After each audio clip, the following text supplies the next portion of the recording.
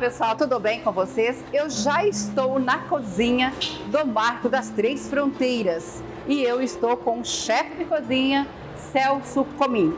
E hoje é três culinárias: brasileira, paraguaia e argentina. Não sei se a gente fala na ordem, mas é isso. E ele está prontinho aqui para fazer então as três culinárias. Tudo bem contigo? Tudo bem, Tudo certo? tudo certo. Nós vamos fazer a cozinha brasileira. O que, que você vai fazer? A picanha brasileira. Tinha que ser, né? Ô, delícia! A paraguaia. Paraguai, o porco paraguaia. É bom? Bom. Nunca comi. E da Argentina? Contra filé argentino. Como? Contra filé. Contra filé argentino. Ou bife ancho. Nossa, então já perceberam que a nossa culinária vai ser top. Fiquem aí, porque aqui vai acontecer tudo o que você possa imaginar. Ah, quando vier para Foz do Iguaçu, não deixe de comparecer ao Marco das Três Fronteiras, o restaurante Cabeça de Vaca. Aqui vocês vão encontrar chefes, mestre e uma equipe muito boa, unida, fazendo aquela comida gostosa para todos vocês. Para todos nós, né? Porque eu também gosto, ok?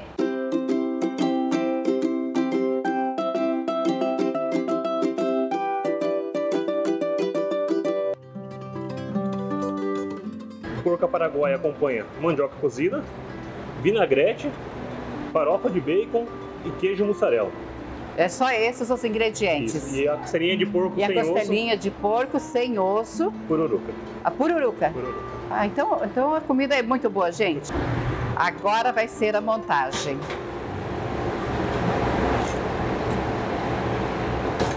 Esse prato, como ele é individual, ele vai 300 gramas de porco, tá bom? 300 gramas de porco. Agora a mandioca tem que ser a, a mandioca branca, pode ser amarela, Pode não ser tem. amarela, se É tiver- mandioca manteiga que nós falamos, né? Se quiser fazer o purê de mandioca, Também? também, dá pra fazer. Ah, dá para fazer o purezinho. E a gente entra com uma farofinha de bacon.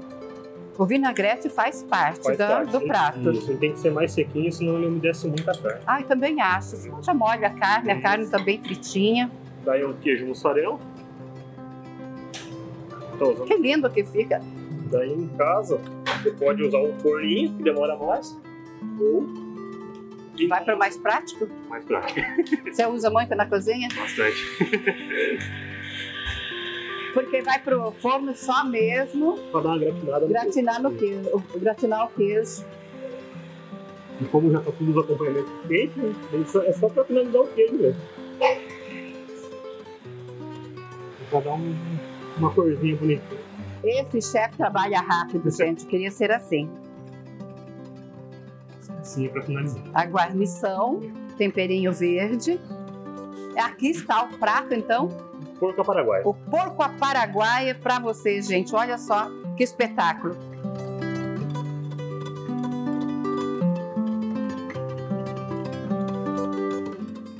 Contra filé argentino, ele vai com a sopa paraguaia, tomate confitado e a cebola confitada. E por cima, um molhinho de chimichurri. Contra filé, a gente tempera ele com o sal da casa, que é com sal, alho e ervas finas, e grelha no charbroil. Então vamos lá montar esse Vamos dar prato. vontade. Ela vai um pedaço de sopa paraguaia, A sopa paraguaia, gente. o tomate confitado e a cebola confitada. Ela acompanha a batatinha,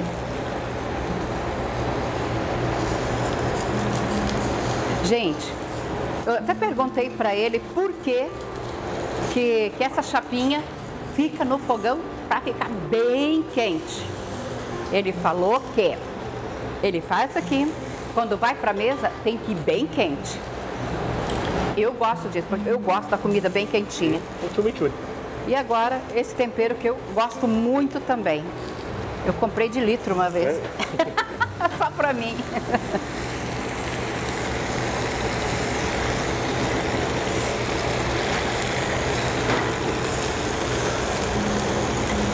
Olha que lindo, gente. Prato paraguaio e argentino está prontinho.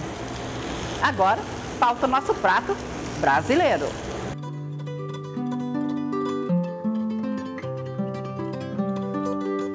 Agora é a nossa picanha. Picanha brasileira. Agora é nosso prato brasileiro. É, eu estava perguntando aqui para o nosso chefe Celso é, a respeito da carne, o ponto certo de uma carne para que ela fique suculenta, bem gostosa mesmo. Ela tem que estar sempre assim com um pouquinho de sumo ou não? Como que é? Ela tem que estar ao ponto. Tem que estar ao ponto. Ao ponto. Não Mas é... vai do gosto do cliente. Mas tem gente que gosta bem. Bem boi berrando. Boi berrando? Boi berrando. Ah, então tá. E agora, vamos à montagem então do nosso prato brasileiro, gente. Já foi o Paraguai, já foi da Argentina, agora é o nosso prato brasileiro. Vamos começar então. Um pedacinho de sopa paraguaia, a cebola confitada, o tomate, A batatinha. a batatinha que não pode faltar. E a picanha.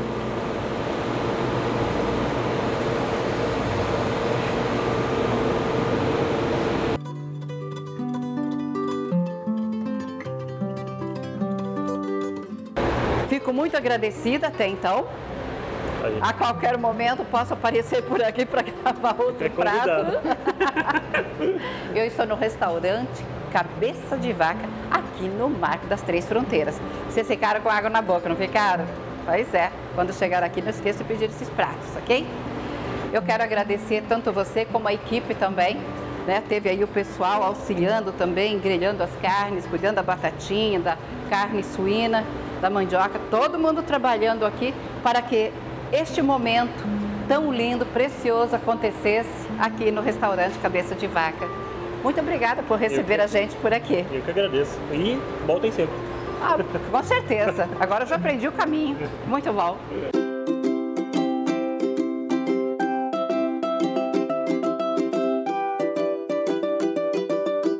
Pessoal, agora chegou o momento de experimentar as três culinárias. Olha só, isso é uma honra para mim. Eu estou com o chefe de cozinha, o Celso Comim, e eu estou com o Cristi, que é maître. Então não precisa melhor companhia para experimentar, degustar os três pratos: prato da Argentina, Paraguai e o prato brasileiro. E pelo que eu acompanhei na cozinha, a execução dos pratos, simplesmente deliciosos. Eu tenho quase certeza. A sopa paraguaia eu experimentei um pouquinho, o Celso deu para mim um pedacinho lá na cozinha, saindo do forno. Que delícia! Eu amei. Aquela imagem que eu tinha da sopa paraguaia sumiu. É bem outra. Celso, é, eu acho que eu vou pedir para o mestre me servir este prato. É, vou, vou experimentar um pouquinho.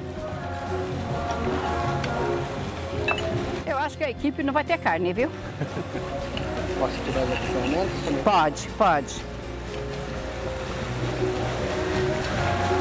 Eu acho que O chimichurri deixa.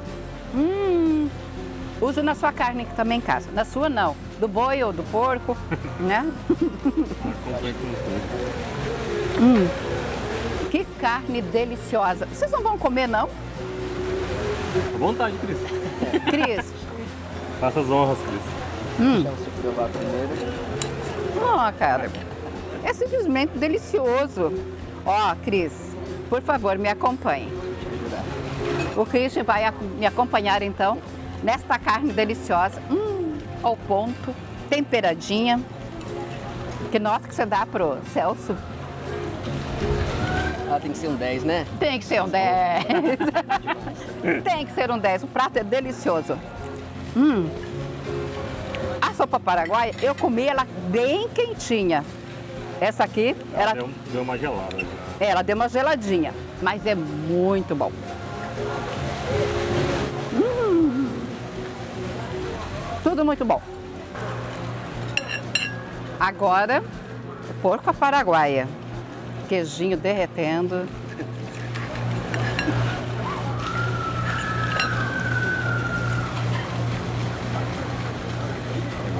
Parabéns, chefe.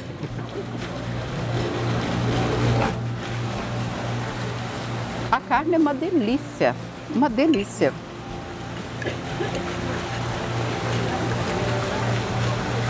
Hum. Agora vamos pro prato brasileiro. Eu vou pegar os talheres aqui, tá? Pode me servir, Celso. Uma picanha. Quer provar a cebola? Quero, quero. Nossa, a cebola que o Celso fez, ela está desmanchando. É bem interessante. Como que você faz a cebola? A gente tempera ela com sal Hã? e azeite de oliva. Daí, forno 40 minutinhos. Vocês, churrasqueiros de plantão, que estão acompanhando a gente, querem aprender a fazer a cebola, é isso. E fica uma delícia, hein?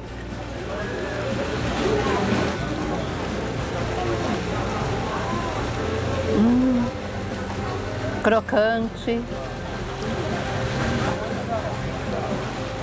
Estou, olha, sério mesmo, muito feliz e eu era bastante curiosa a respeito da comida paraguaia e argentina. Mas para te falar bem a verdade, tudo puxa uma comidinha brasileira, né? Tudo puxa. Tudo puxa para comidinha brasileira, que é uma delícia. Gente, vocês estão convidados a fazer uma visita então no Cabeça de Vaca, aqui no Marco Três Fronteiras, e conhecer o Christian. É, olha, e dois jovens, ele o mestre e o chefe de cozinha, o Celso Comim, que cozinha super bem, e toda a equipe dele também, porque ninguém faz nada sozinho. Tudo tem uma equipe, né? Todos nós temos que trabalhar em equipe e torcer que dê certo. É isso aí, muito obrigada. Eu agradeço. Agora eu vou continuar comendo, gente, os três pratos.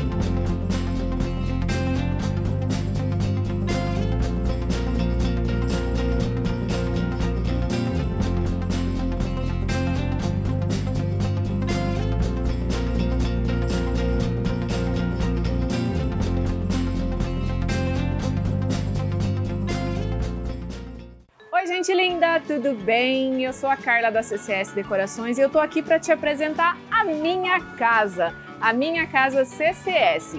Aqui a gente tem uma infinidade de opções para decorar a sua casa, seu escritório, sua festa e tudo mais.